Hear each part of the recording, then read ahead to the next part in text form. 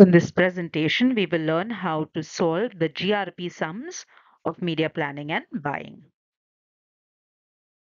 Our question is, we have media 1 with a reach of 75, frequency 10, total production cost or TPC 8 lakhs, average exposure cost AEC 40,000. For media 2, we have reach 20, frequency 20, TPC or total production cost 6 lakhs, AEC 70,000. What we need to find is the percentage TA, the GRP, gross rating points, and CPRP, cost per rating point for both Media 1 and Media 2. Now, for your reference, I keep the question at the top of the page so that you can look at it constantly. We start with solving Media 1 reach is given to us as 75, frequency as 10. So we can easily find GRP, which is reach into frequency or R into F. From our question, 75 into 10, which equals to 750.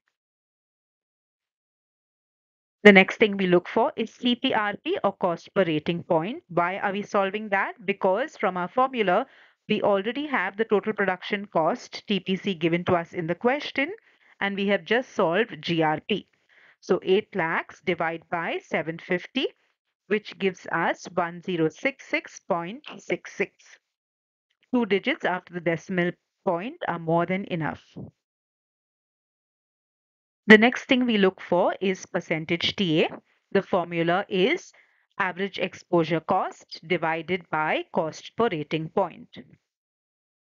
Our average exposure cost is given in our question as 40,000 divided by the CPRP that we just found, which is 1066.66.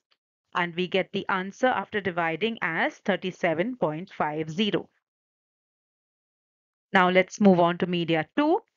Again, the same steps are followed. GRP equals to reach into frequency, which is 20 into 20 as given in the question equals to 400. CPRP, our formula, TPC divided by GRP. TPC is given to us in the question as 6 lakhs divided by GRP, which we just found as 400, equals to 1,500.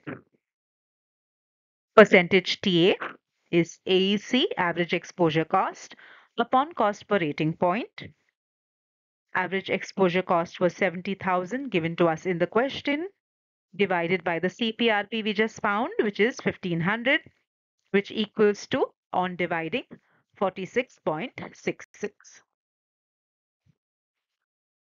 Hope you found the sum very easy to learn the formulae properly so that you remember them in the exam.